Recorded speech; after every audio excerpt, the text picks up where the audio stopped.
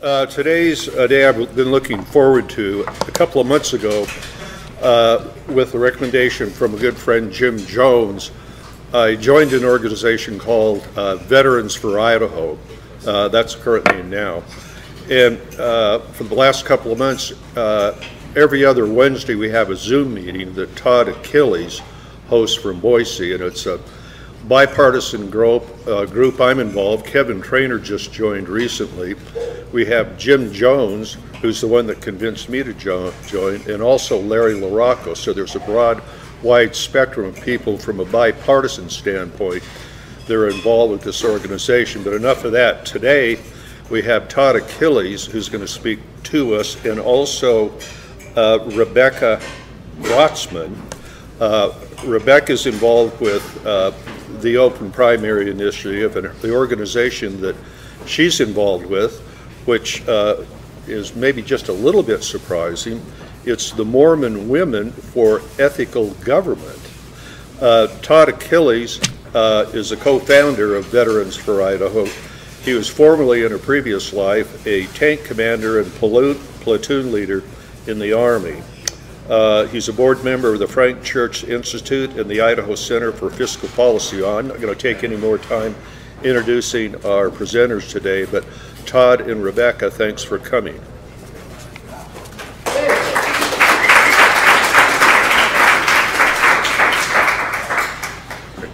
Thanks. Yeah. All right. Um, what's the best way to do this? I'll just shove you up. I'm ready. okay. All right, well, appreciate everybody's time today. Rich, thanks for the introduction. Uh, so the organization is Veterans for Idaho Voters. We, we set this up as, as uh, Rich said, Jim Jones was really the catalyst behind this. Um, we've got a nice uh, mix of uh, vets from all across the state, uh, which you, you missed, Rich, is our chairman is Governor Otter and Democratic Congressman LaRocco and, and, and folks from all over, from all different political views. But, you know, our mission is really about about fair elections, citizen initiatives, civil politics, and sensible policies. Uh, and we're, we're really focused on the Open Primaries Initiative. The, um,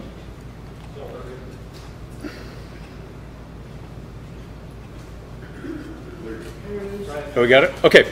So quick agenda here. So we're going to talk about the Open Primaries Initiative um, and just explain what it does, what it doesn't do, a lot of things that people have, have heard about it. Um, one, I just want to dispel right now, everybody does not get a pony if this passes. Uh, so, but let's, let's talk through what it means for our elections. And then we've got a mock vote that we'll be able to do on this, and then we'll wrap up with questions. And then just a quick introduction here. Becca, you want to?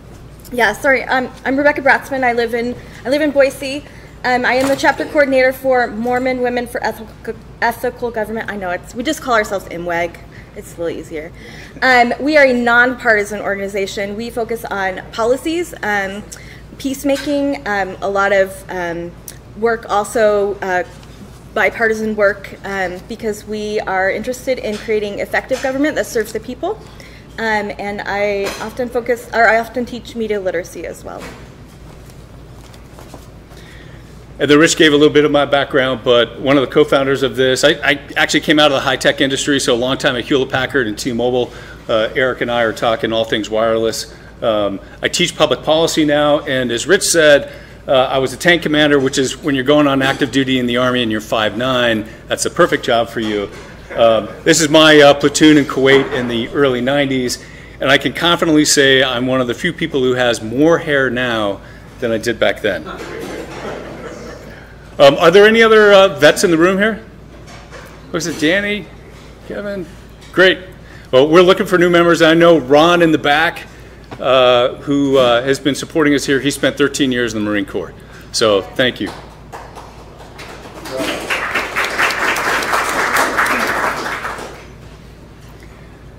Okay, so today's talk, you want to go through this? Sure, uh, you can just. Um, so one of the reasons that MWEG joined up together with um, Veterans for Idaho Voters, sorry, yeah, for Veterans for Idaho Voters and to support the open primary initiatives is because this issue to us is a civics issue. Um, it is uh, one that um, aligns both with a lot of the religious um, reasons that we engage in the political process.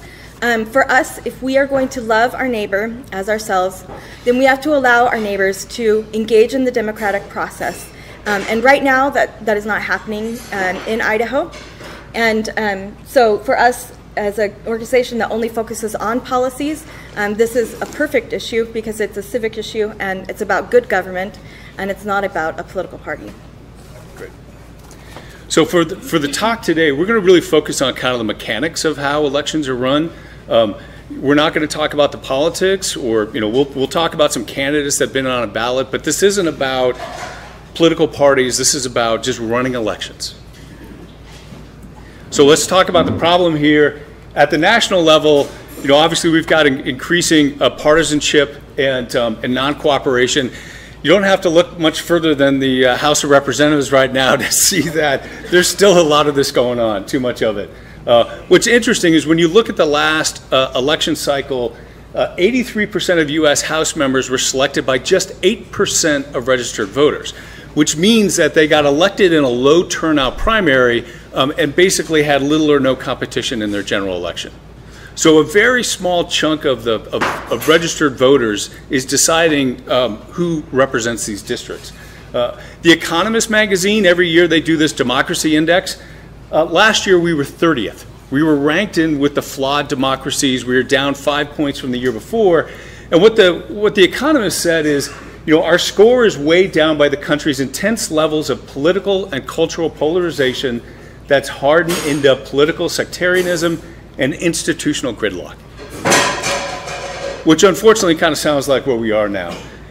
And most importantly, President Washington, General Washington, our only independent president, uh, warned about this when he left office. He, in his farewell address, he was concerned about this rising role of parties and partisanship and the threat that that posed uh, to the new nation.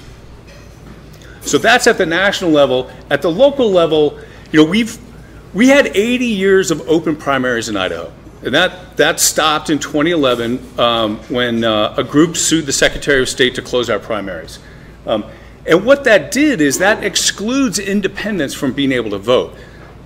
About a quarter of registered voters in Idaho are independent. This, this group is twice as big as the Democratic Party, about half the size of the Republican Party. Those folks can't participate in our primaries. And when you look at the impact of closed primaries, the lowest turnout in primaries since 1980 happened in the three years after we closed it. Basically, what you're seeing is uh, a, we're, we're seeing primary turnout now about half of where it was in 1980 15%, 16% versus 30, 31. Um, and so the combination here of low turnout in the primaries um, and our system of just having the most votes to win means that we've got a lot of candidates winning with very few votes. It's kind of like a, a fraction. Not a lot of people are turning out, so you don't need a lot of votes on the top to win. Some candidates are winning with 9, 8% of registered voters in their district. Said another way, 92% of registered voters in a district didn't have a say on who that candidate was. Uh, and so when you look at, the, again, this last cycle in 2022, on average, it took 16% of registered voters to win in the, uh, in the primary and 42% to win in the general election. So you see this big difference on the primaries. Um, and overall, we've got a big problem of just not having very competitive elections. So in the primary 32 elections, uh, had no competition, but in the general 50 of the state, state legislature, so that's 50 out of 105, had no competition. And in fact, there were nine legislative districts in Idaho in which there was no competition in the Senate, the Rep A, and the Rep B position. And honestly, I think the ballot in North Korea has more competition than what we're seeing in some parts of Idaho. Um, and I think the really important one, getting back to the point of independence, 96% of the 22 primary races could have been different if independents had been allowed to vote. Typically, what you're finding is somebody may win an election with three or 400 votes, while 6,000, 7,000 independents are sitting on the sidelines. So those voices don't have a say in our primaries. And again, I think everybody in Idaho sees this. The Boise State University's uh, statewide survey, the last cycle was the highest ever of people feeling that our state is not on the right track. So people are seeing it. So that's the situation. um, And when you put all of these things together, what, you- what you see happening in our politics is that we've got weak competition and then this low turnout to get elected. And what that results in are leaders who are beholden only to that small group that elected them. And then when they get into the state house, they're making policies that are targeted to who, who got them in there rather than their whole district. And so we have this kind of representation problem, which is fundamental to, to self-government. So how do we fix this? I I have a question. Don't don't you think that's what, that, that's what they wanted to do? That, that's, I mean, I talked to a lot of people, I, I hear more people say, we don't want to let people vote, because the majority in the state, that's how they keep the people in power, so I'm like, you know, I understand what you're saying, except I'm not in the majority party here, I'm not a Democrat, but, you know. Yeah, no, it's- Working for them, why change it? Well, yeah, yeah. That's um, that's really cynical, but it's it feels true. But at the same time, it's also not. It's not a healthy. Um, the candidates are not competitive within their own party, and so it. Yeah. Whether it was their intention or not, it doesn't yield healthy um, candidates who have um, who have to answer to the people in the end. So, so I think the, the, the Open Primaries Initiative really has two parts to it. This is about reforming our elections and making, making our system more representative. So the two parts, one is we're going to open the primaries back up again, and then we're going to do a, a final four uh, in the in the general election, and and we'll I'll explain what that means, and you'll get a chance to demo. So, so what the open primary means is we're going to have one ballot with all the candidates on it. You'll see candidates from all the parties. You'll start to see independent candidates on the primary, which hasn't happened before. Um, all voters participate, so there's no limitation by parties anymore. This is going back to what we used to be. We're only using this for congressional, statewide, uh, legislative, and county elections. So judicial election, special district, the presidential primary, that stays with the current system that it is now. Um, and basically, from this, from this primary ballot, you just pick one. That's it. And then the top four vote getters in the primary advance to the general election. So this final four format, what we're, what we're doing with the open primaries initiative is getting from four to one candidate that's got over 50%. And the best, fastest, most efficient way to do that is with a system called instant runoff, or also called ranked choice voting. And what you do in this is you rank the four candidates. Who's your first priority or first preference, second, third, and fourth. And the first candidate to 50% of the votes plus one wins. Now, in, in a lot of areas, there's going to be one person that's going to get that 50% right off of the bat. There's no reason for a runoff. You don't have to do any of that other stuff. But, and this is a really important part, is if your first choice is eliminated, then you're, you move to your second choice candidate, which is another way of saying you still have a voice in who gets elected. So in today's system, if you were to pick, say, a constitutional party candidate, odds are they're not going to win the general election. So a lot of people would call that a throwaway vote. But here you could put your first choice might be a constitutional candidate, your second choice could be a Republican candidate. And maybe that Republican candidate goes through. So people still, their, their choices, their preferences still have a place. It's still one vote, but you get to rank that vote. And at the end of this thing, what we're trying to do is make sure each of the candidates has over 50%, so they really represent their district, rather than just winning with a slice in the primary and then coasting through in the, in the general. So I'm going to go through a couple of examples here so you guys can see it. Now, everybody, everybody's probably heard Alaska is a state that adopted the same sort of format, open primaries with a final four. Uh, this is what the ballot looked like in Alaska in November 2022 for the, for the U.S. Senate race and the U.S. congressional seat. And I'm just going to focus on the one down on the bottom here. So for the U.S. representative, you had two Republican candidates, one Libertarian candidate, and then one Democrat. Um, it's just generally on ranked choice voting. There are four states that have approved it.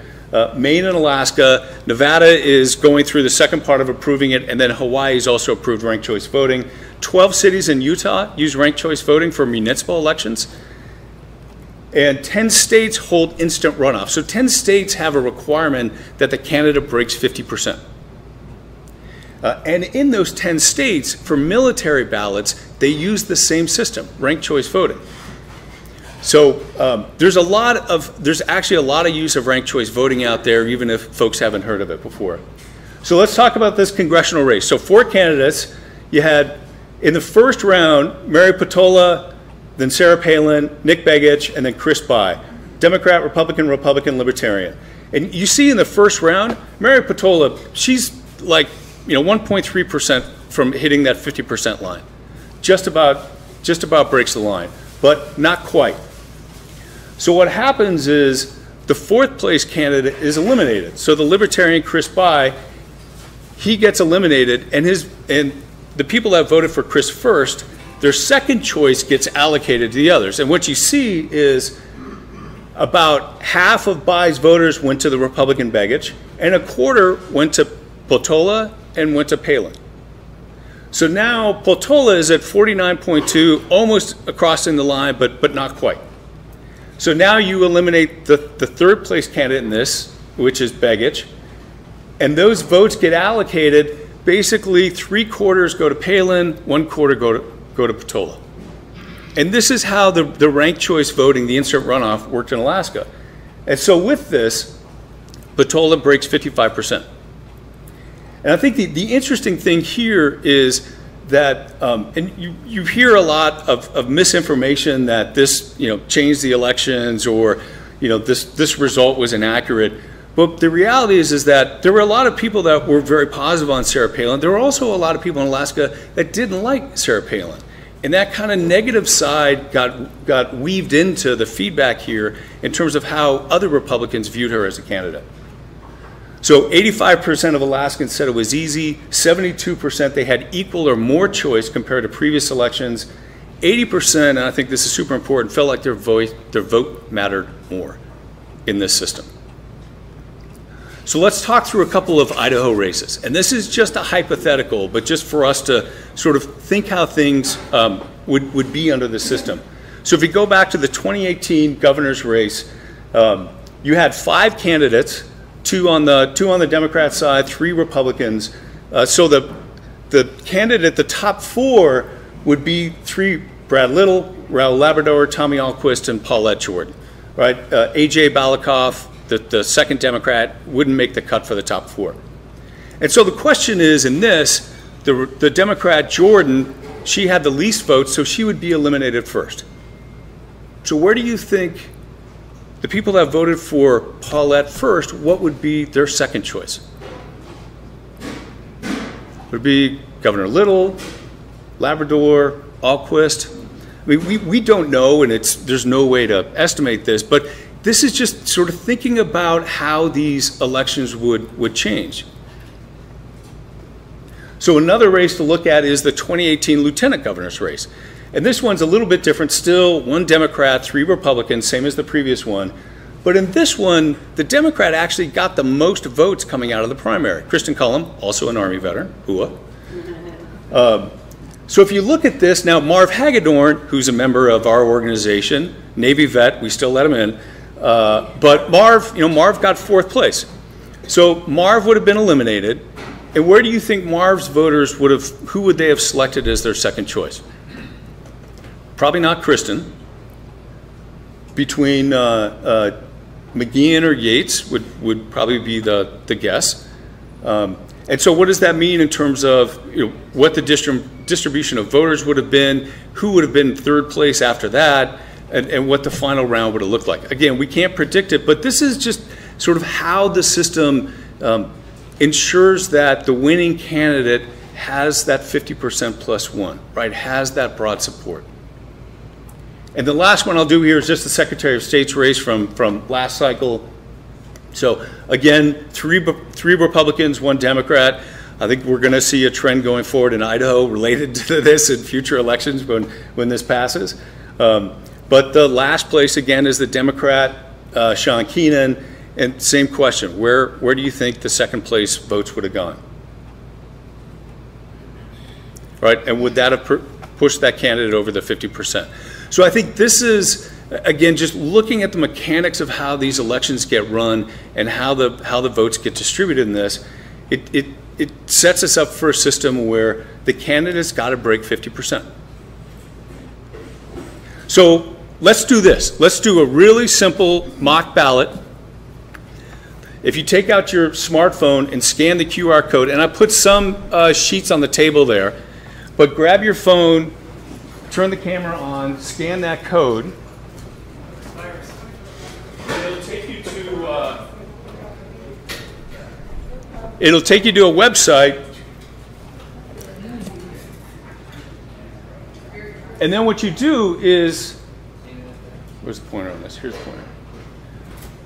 So we've got four desserts, first through fourth place. So pick which dessert is first, second, third, and fourth and then hit submit.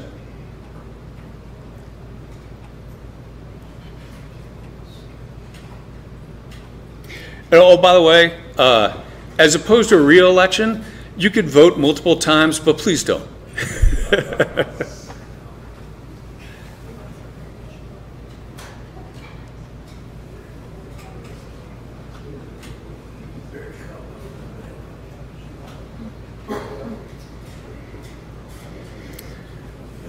I should have changed the ballot to put Kevin Bradshaw's birthday cake on there.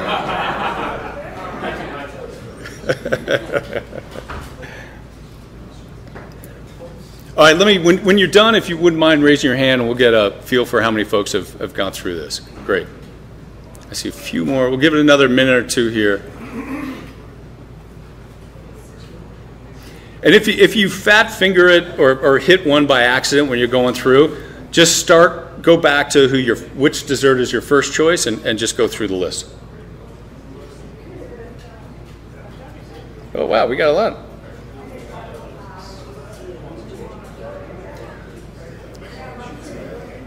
We good? All right, Kevin, do you want to you want to pull up the results page? And you can see the results on your on your phone too, but we'll just we'll pull it up right here. So here's the. Uh,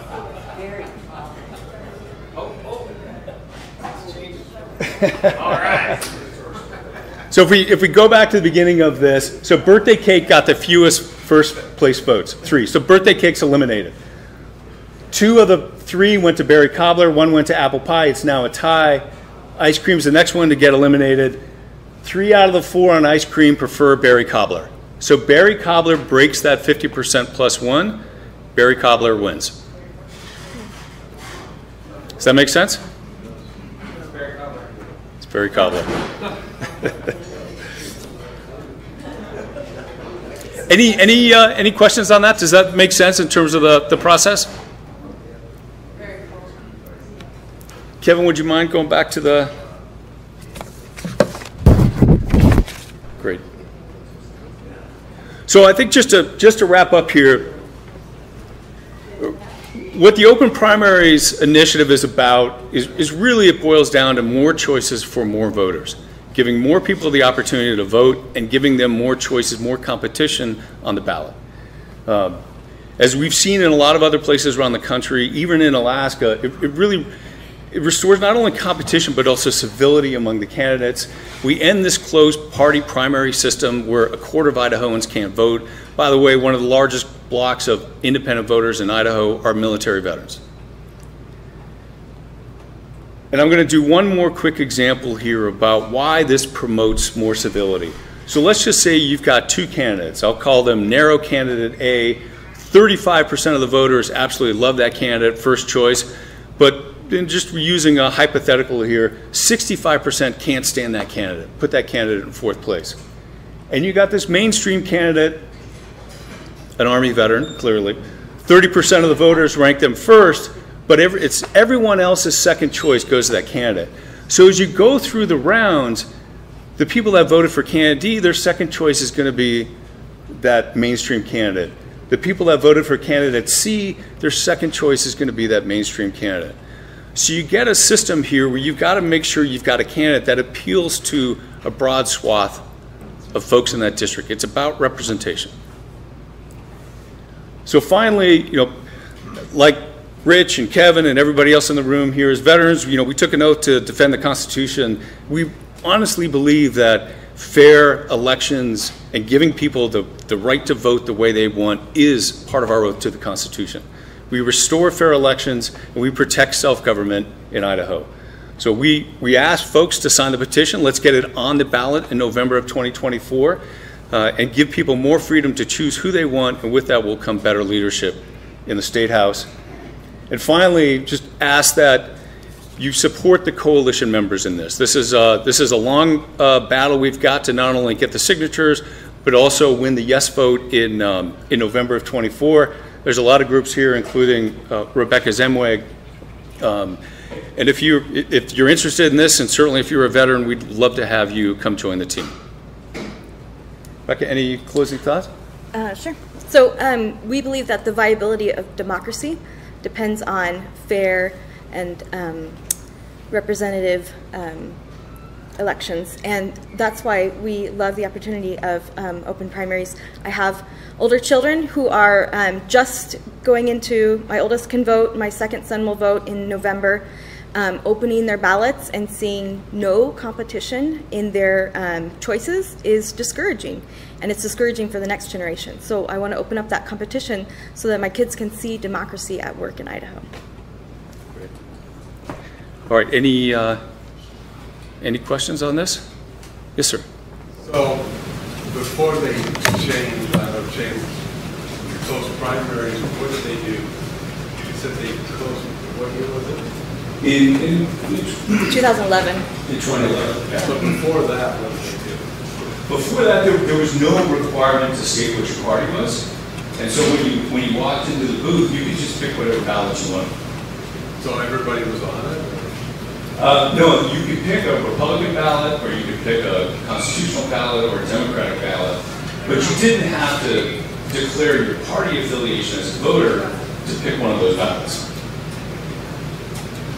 So is that a more fair system than this? It's, uh, the, the, the problem, the, the problem with the, the original system, it, it gave the voter more options than it does now, but you were still locked into one of those ballots. So if there was a, you know, Republican candidate, a couple of Republican candidates you want to support, and maybe there's a Democratic candidate you want to support, you couldn't do that in the primary. With this system, you can. You could do it in the general. You could do it in the general, yeah, thank you. Yeah. Yeah. Good, thank. Yeah, sir. If we join up to support your campaign, do we get a hat? So Coach Nice, if you're a veteran and you sign up uh, to join, you do get a hat. I got a couple with me right here, so this is. So I have a question too. So what happens if this passes? What's to prevent the legislators from just changing the law the next year? Um, Well, it's, it's us. Yeah, so if, if this passes, the first open primary will be uh, May 26th. And then the first instant runoff general will be November of 26. So I think like we've done on, on other citizens initiative, it's about having a conversation with your legislator and expressing why you want them to support it. You back to the timeline of how many signatures, how many it takes for this? Yeah, so, so Rich's, uh, Rich's is on the, the timeline here for signatures. So, uh, the, the law, Idaho is actually one of the toughest initiative processes in the country. So we need about officially sixty-five thousand signatures. Um, that's six percent of registered voters. You have to get six percent in eighteen out of the thirty-five districts, so you gotta make sure you distribute those, those signatures. And, um, uh, that means we need about 100,000. We've got to do that by the end of April. Um, Although we're doing well on the signatures, we're, we're ahead of the plan so far, but it's a, it's a big number and it's a heavy lift. What do you question for that? We, we have work, we have things, you can sign today. Yes, we have, we have signatures. Yes, sir. So, um, if, if I only want to vote for two, can I only mark two, would be my first question? And can I mark the same person four times? Uh, so you don't have to rank all four candidates, you can just rank one if you want to, or just two. And, um, but you can't rank the same candidate four times. Is that one back here? Well, how do we sign? We have signature Right here. books floating around right here, so. Come on down. Todd, are you able to stay around after the meeting for people that have more questions? Yeah, absolutely. Absolutely, we can stick around. Yes. When you state your affiliation in Idaho right now under this system, is there any consequence if you're a registered Republican voter but may identify otherwise? I mean, there's no follow-up, so anyone can register as a Republican voter if they wanted to. Um, it's, for primary, if you're already registered with another party, let's say you're part of the Libertarian and you want to register as a Republican, you got to do that about 10 weeks before the primary, because there's a, there's a cutoff there.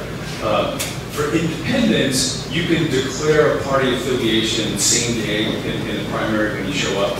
Um, And so that's, that's certainly an option for independents. Kind of defeats the point of being an independent. Um, A lot of people don't want to declare their party affiliation. Uh, But, um, but that is, that is another option to, to vote. Just as today. the interim until your guys' great initiative Well, passed.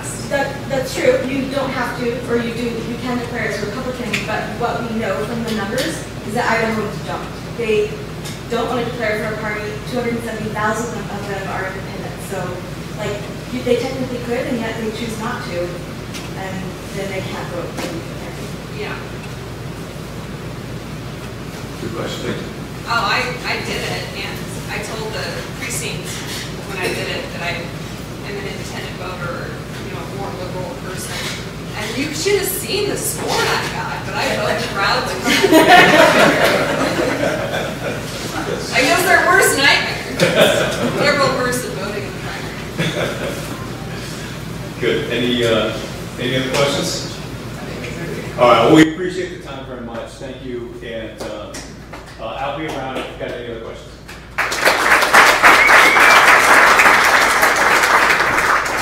Yeah, thank you very much, Todd and Rebecca, for, for presenting that. Uh, it does sound like they have sign-up sheets, and we'll stick around if you're interested in signing.